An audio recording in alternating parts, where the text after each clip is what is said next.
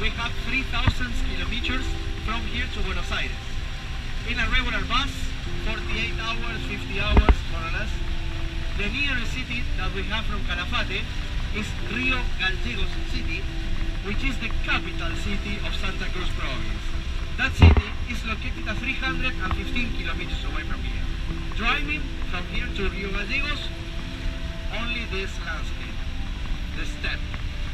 Exactly in the middle of the way, from Calafate to Rio Gallegos, you will find one gas station, one small restaurant and one small hotel. That place is called La Esperanza. You know the meaning of the word La Esperanza?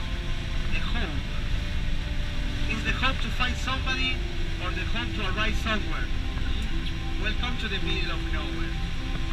Santa Cruz in Argentina is the second largest province.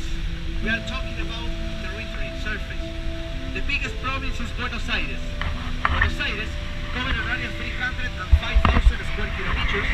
Santa Cruz 298,000 square kilometers. So the difference is almost nothing.